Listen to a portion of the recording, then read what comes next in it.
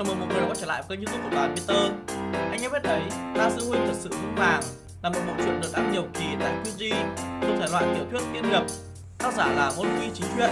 Và gần đây thì bộ phim 3D bộ truyện cũng đã được chuyển thể với tên là Sư Huynh A Sư Huynh.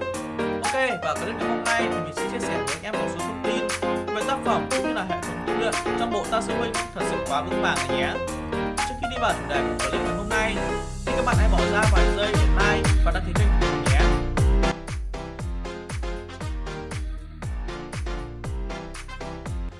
là giới thiệu tác phẩm.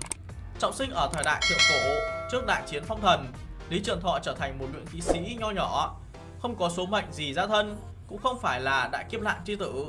Hắn chỉ là một người mộng tu tiên, muốn trường sinh bất não.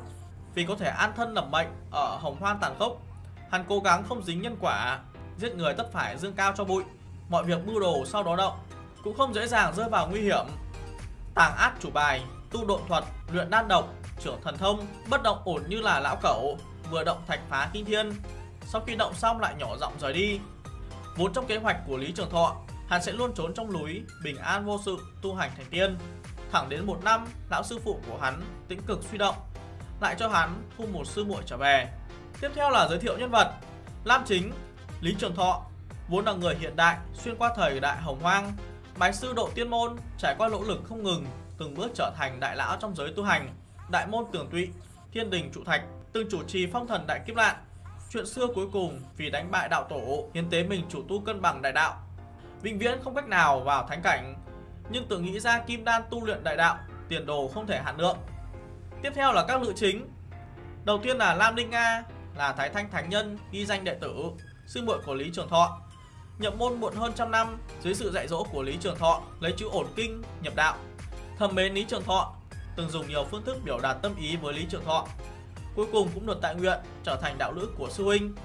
Tiếp theo là Vân Tiêu Tiên Tử, là tiên thiên sinh linh, những đám mây đầu tiên trong thiên địa, triệt giáo ngoại môn đại sư tỷ. Nữ nhân đầu tiên làm cho Trường Thọ động tâm, vốn là phong thần nhập kiếp giả thiên định. Trải qua Trường Thọ nỗ lực không ngừng có thể thoát khỏi kiếp nạn Đại kết cục cùng Lam Ninh Nga cùng nhau trở thành trường thọ đạo lữ. Tiếp theo là cảnh giới tu luyện. Đầu tiên là tu hành tiểu cảnh giới. Trước khi thành tiên thì gồm có luyện khí, hóa thần, phản hư, quy đạo, mỗi cấp chia làm 9 tầng. Quyết định thực lực của bản thân sau khi thành tiên mạnh yếu cùng với tiến cảnh, tiền đồ giới hạn tu luyện sau khi thành tiên. Tựa hồ tham khảo đạo giáo, luyện tinh hóa khí, luyện khí hóa thần, luyện thần phản hư, luyện hư hợp đạo cảnh giới, mà không phải truyền thống luyện khí trúc cơ. Điều này cũng hô ứng với Lý Trường Thọ hậu văn nghiên cứu kim đan bản chỉ đạo nhân gặp phải thiên phạt, cũng bằng vào với kim đạo đại pháp trở về Đại La. Thành tiên kiếp, địa tiên đạo, trọng tiên còn được gọi là địa tiên, tu vi cùng với tuổi thọ đều tương đối có hạn. Địa tiên chi tổ chấn nguyên tử tựa hồ bất đồng. Sau địa tiên đạo là thiên tiên đạo, gồm có nguyên tiên, chân tiên, thiên tiên, sau thành tiên kiếp thì là kim tiên kiếp hay được gọi là trường sinh kiếp. Đầu tiên là kim tiên kiếp nhập trường sinh, sơ khuy đại đạo. Sau kim tiên là đại na, đại đạo khởi thành, đăng đường nhập thất. Sau đại na thì là chuẩn thánh. Đại lộ là ta, ta là đại lộ. Chuẩn thánh cũng không phải là một cảnh giới cụ thể. Bình thường chỉ có năng lực thành thánh nhưng không có thành thánh cơ duyên. Chuẩn thánh trong sư huynh ở luyện vì trực quan biểu hiện tu vi nhân vật nhân vật chuẩn thánh cảnh giới dùng mạnh, trung, yếu phân biệt thực lực cụ thể. Sau chuẩn thánh thì là hỗn nguyên vô cực, là thiên đạo thánh nhân. Thiên đạo thánh nhân hình như siêu thoát, kỳ thật vẫn như cũ trói buộc ở đạo tổ. Hồng hoa thành thánh lộ bị đạo tổ phong tỏa. Không có hồng mông tử khí, không cách nào thành thánh, mà lấy hồng mông tử khí thành thánh giả. Cũng bởi vậy bị đạo tổ quỷ tay, không được chân chính siêu thoát. Sau tu hành tiểu cảnh giới thì là thiên kiếp. Đầu tiên là thành tiên kiếp, Thành tiên kiếp bất quá 9 đạo thiên nôi, thường là 4, 5, 6 đạo thiên nôi. Căn cứ vào tư chất của độ kiếp giả cùng với thành lực thành tiên, thiên đạo sẽ hạ xuống thiên kiếp uy lực bất đồng. Số kiếp lôi càng nhiều, chứng minh tiên độ của người này càng rộng lớn. Tiềm lực càng sâu, muốn vượt qua thành tiên kiếp khó khăn cũng càng lớn.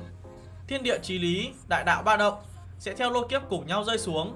Nếu như không có chính diện thừa nhận thiên kiếp, quanh người sẽ không có xuất hiện tiên linh khí Vượt qua đạo thiên kiếp đầu tiên, sau khi phục dung tiên đan, có thể binh giải hóa thành trọng tiên. Tiếp theo là các thông tin về lôi kiếp. Tử kiếp xếp hạng đầu tiên trong thiên kiếp. Cửu Tiêu Thần Ma Kiếp là xếp hạng thứ hai có 9 đạo lôi kiếp. Trên có thiên cung, trong đó có Long Phượng, hạ tựa thần ma. Tiếp theo là Cửu Thiên Tố Linh Kiếp, xếp hạng thứ ba có 9 đạo lôi kiếp. Trên kiếp vân tựa như xuất hiện một đám tiên tử nhảy múa. 32 cung bát cực bát hoang triệu tiên kiếp, xếp hạng thứ tư có 8 đạo lôi kiếp. Trong kiếp xuất hiện ra từng con hung thú thực cổ. Bác Hoan Nan Tam Thập Nhị Tiên Cầm Kiếp, xếp hạng thứ 6 có 8 đạo lôi kiếp Phía trên kiếp vân hóa ra bách điểu màu xám bay múa. Tiếp theo là vạn ninh kiếp, xếp hạng thứ hai có 9 đạo lôi kiếp, dị tượng. Một tòa tháp cao vạn trượng được mây mù bao bọc, tháp chia làm 33 tầng, mái hiên cao chót vót, từng chỗ cửa sổ đều hiển thần linh, tẩu hung thú, thần điểu linh cầm. Thiên địa vạn linh đều có thể tìm được đối ứng ở bên trong. Tiếp theo là Bát Hoang Lan, Tâm Sát Kiếp, xếp hạng thứ 17, có 8 đạo lôi kiếp, dị tượng sấm rậm cuồng cuộn. Dường như là có một khúc xe khổng lồ chạy nhanh trong tầng mây. Tiên vương hoàn hồn viễn cổ thượng cổ đang tuần tra. Tiếp theo là hồng hoang đại sự ký. Bản cổ khai thiên lập địa bản cổ cầm khai thiên phủ bổ ra hỗn độn hải. Khai thiên địa phân thanh trọng địch âm dương thân thể hóa thành hồng hoang thế giới tàn hồn hóa thành tam thanh cùng với các đường cổ đại lăng khai thiên thần phủ hóa thành ba kiện trí bảo là thái cực đồ bản cổ phiên hỗn độn chung. Đạo tổ liên hợp với thiên đạo diệt đãng tiền bối cũng trở thành hồng hoang thế giới đầu tiên thiên đạo thánh nhân. Sau thánh nhân thành thánh, được đạo tổ ban cho hồng mông tử khí, thái thanh, ngọc thanh, thượng thanh, tiếp dẫn, chuẩn đề, lựu a sáu vị đạo nhân thành tựu nhóm thiên đạo thánh nhân thứ hai. Ở đại kiếp nạn đầu tiên, Long Phượng đại kiếp, chính sử ghi lại Long tộc, Phượng tộc đại chiến, đánh nát hồng hoang thế giới, hình thành ngũ bộ châu cùng với vô số đại thiên, tiểu thiên thế giới hai tộc cũng bởi vậy mà cõng nghiệp chướng.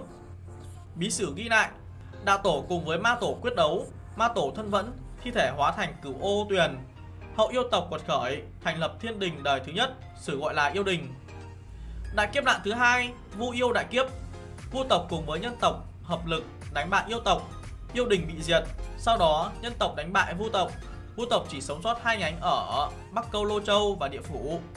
Nhân tộc trở thành người đứng đầu hồng hoang, Đại kiếp nạn thứ ba là phong thần kiếp. Theo kịch bản thiên đạo, sau khi đạo môn suy nhược, Tây Phương giáo tiểu hưng dưới sự an bài của Trường Thọ, Tây Phương giáo nhập kiếp cũng tổn thất thảm trọng. Tổn thất đạo môn giảm xuống trên phạm vi lớn. Tiếp theo là Tây Du tiểu kiếp, đạo tổ ngã xuống. Theo kịch bản thiên đạo, cao thủ còn lại của yêu tộc bị một lưới bắt hết. Phật môn đại hưng dưới sự an bài của Trường Thọ, lão nhân hóa hồ thành Phật, thành công lớn. Phật môn trở thành đạo môn bổ sung hữu ích Tây Du còn chưa bắt đầu chấm dứt, đạo tổ ngã xuống, đại đạo truy đình thành lập.